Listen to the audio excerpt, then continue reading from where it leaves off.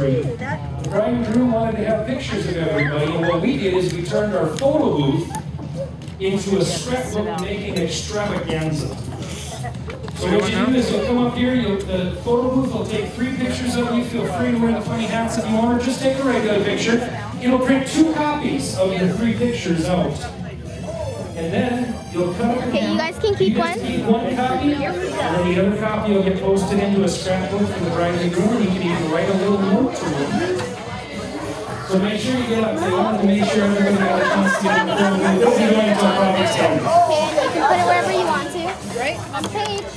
One more.